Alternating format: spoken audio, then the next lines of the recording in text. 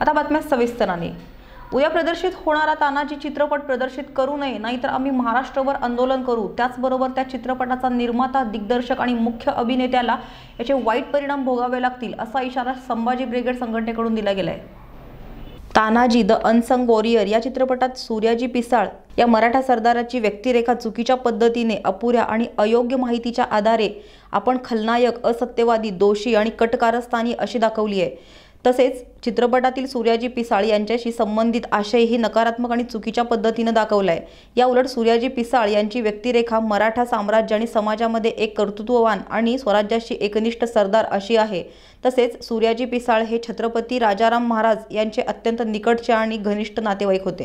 की त्यांनी सूर्याजी पिसाळांचं भूमिका अत्यंत वादग्रस्त त्यामध्ये दाखवलेली आहे. पिसाळ परिवाराकडनं आम्हाला पंधरा दिवसापूर्वी त्यांना मिळालेल्या माहितीच्या अधिकारामध्ये त्यांनी सांगितलं.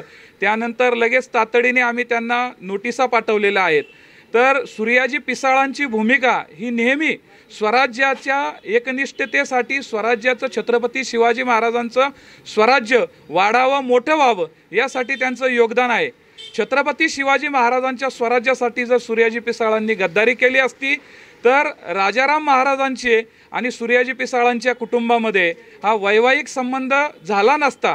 अशा पद्धतीने एका महान योद्ध्याचा पराक्रमाचा जाज्वल्य इतिहास चित्रपटाच्या माध्यमातून या अनसंग वॉरियरमध्ये तानाजी मालुसरेंच्या या चित्रपटामध्ये दाखवलेला आहे.